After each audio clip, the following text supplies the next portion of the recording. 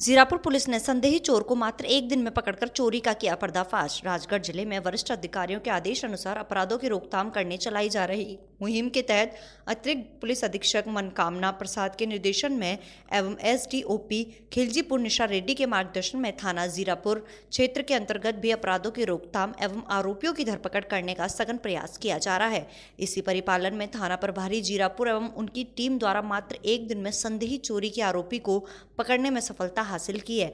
विदित है कि दिनांक 6 अक्टूबर 2021 को फरियादी भंवर लाल पिता रतन लाल सौंदिया उम्र 40 साल निवासी ग्राम बटावदा थाना जीरापुर ने रिपोर्ट दी थी कि दिनांक 5 अक्टूबर 2021 को दोपहर तीन बजे करीबन अपनी पत्नी व लड़के के साथ खेत पर काम करने चला गया।